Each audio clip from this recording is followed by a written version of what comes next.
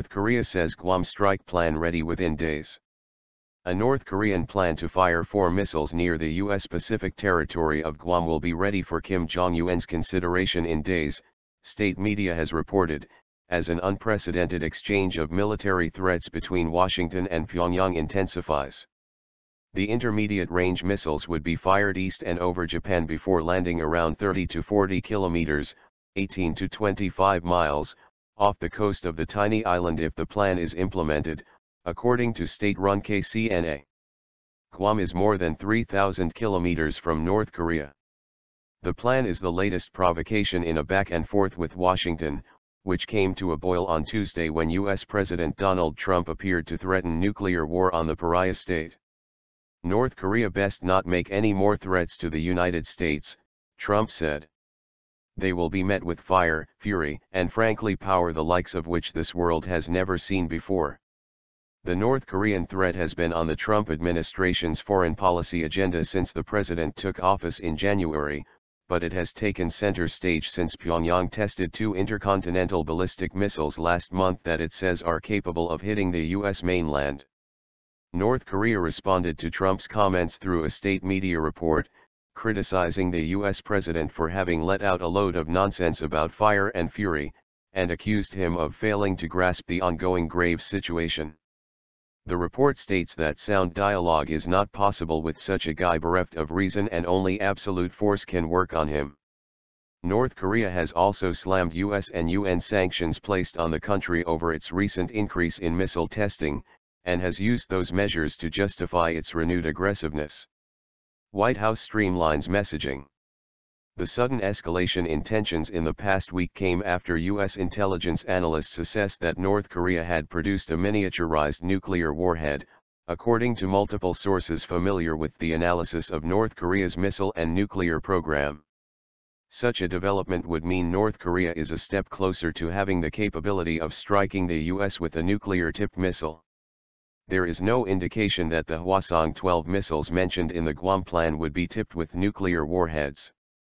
The White House was accused of sending mixed messages on its North Korea stance, with Trump's fiery comments juxtaposed with U.S. State Secretary Rex Tillerson's more diplomatic approach, which focused on dialogue. But those messages are beginning to converge. Tillerson on Wednesday backed Trump's comment while trying to allay fears that a military confrontation was imminent and U.S. Defense Secretary James Mattis on Wednesday also supported Trump's controversial remarks. The DPRK should cease any consideration of actions that would lead to the end of its regime and the destruction of its people, Mattis said in a statement Wednesday, using an acronym for North Korea. Trump's comments have been slammed as incendiary by his political opposition as well as some foreign powers, but have been supported by others. Four rockets flying 1,065 seconds. The KCNA report includes detailed provisional plans to launch four rockets above Shimane, Hiroshima, and Koichi prefectures of Japan, and specified they would fly 3,356 kilometers, 2,000 miles, for 1,065 seconds as a crucial warning to the U.S. Following that flight path, the missiles would also have to travel over the Japanese prefecture of Ehime. North Korea's estimated splashdown of the missiles would place them just outside Guam's 12 nautical mile territorial waters, but well within its 200 nautical mile exclusive economic zone. The Korean People's Army Strategic Force will present the final plan for the launch to Kim by mid-August and wait for his order, the report said. Should Kim give the go-ahead, it would not be the first time a North Korean rocket has crossed over Japanese territory.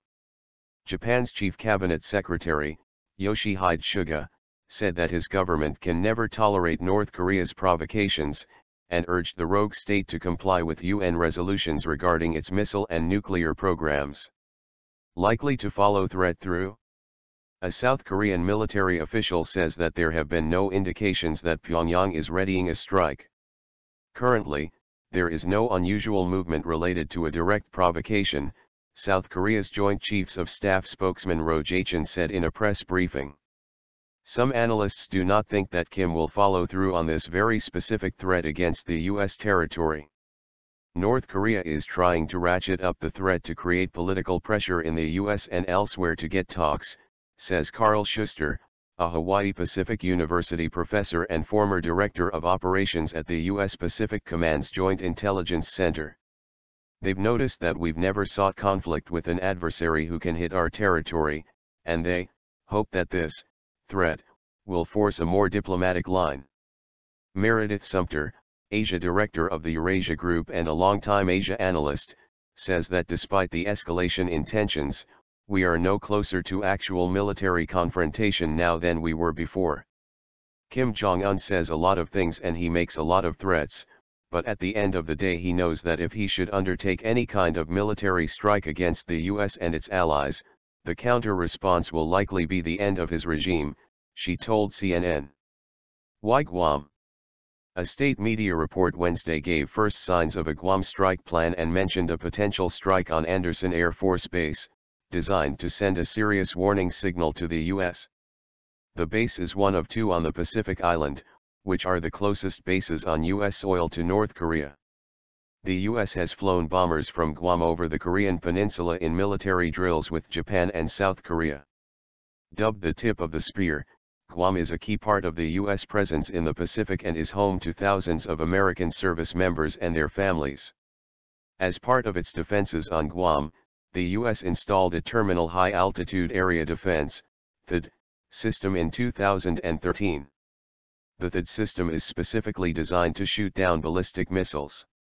Also, the U.S. routinely uses Aegis-equipped warships around the island chain of the Marianas, of which Guam is the largest.